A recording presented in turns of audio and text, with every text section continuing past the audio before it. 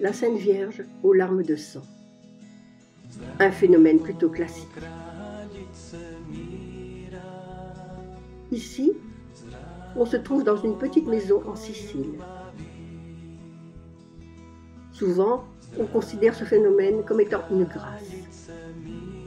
Mais, dans un message à Medjugorje, Marie nous dit Ne permettez pas que je pleure des larmes de sang.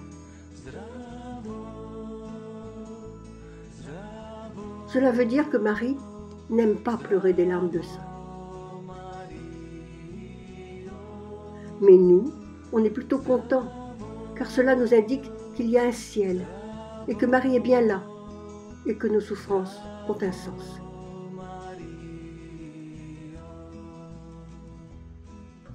Sang, huile, ouvrez l'âme. Beaucoup de statues de la Vierge Marie ont déjà pleuré à travers le monde.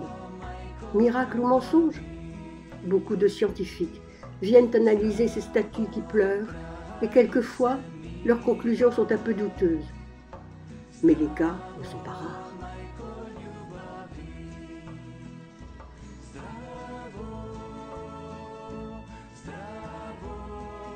Le sens de ces larmes est tout bête.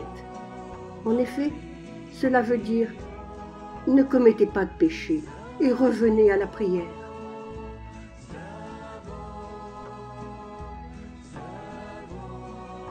Quand c'est de vraies larmes, Marie est un peu moins blessée, mais elle pleure quand même à cause de nos péchés. Et quand c'est de l'huile, c'est plutôt pour apaiser nos douleurs, voire même nous guérir ou guérir des personnes présentes.